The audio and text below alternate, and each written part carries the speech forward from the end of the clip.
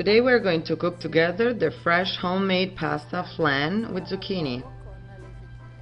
We need some tagliolini, zucchini julienne style, only the green part, stracchino cheese, fresh aromatic herbs, rosemary, thyme, and marjoram, toasted and chopped pine nuts, some cubes of sweet bacon.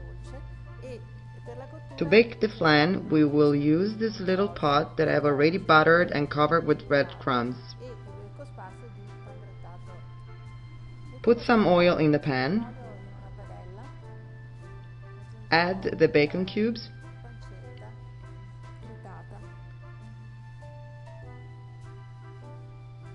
When the bacon is colored, add the zucchini. They have to stay on the fire very short time because they are very thin.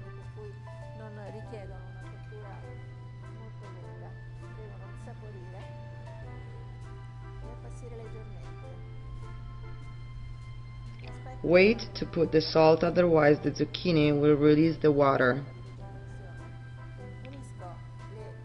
Add the fresh aromatic herbs, the pine nuts, the salt, not too much because the bacon is already very tasty.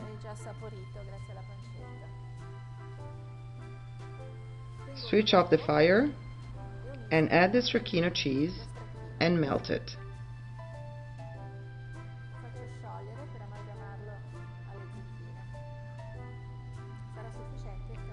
The warmth of the zucchini will be enough. Now put the pasta in a pot with salty boiling water. Only a few minutes because it's fresh pasta.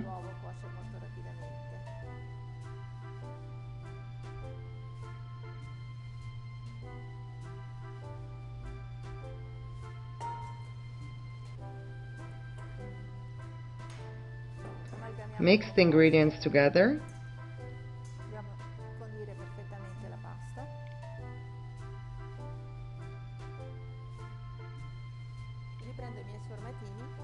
Put some pasta inside the little pots.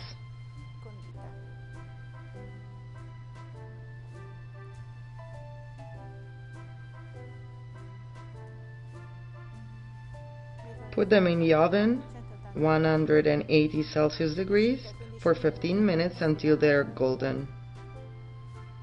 The flans are ready. We can put them in a plate. We can use a knife to take them out from the pots.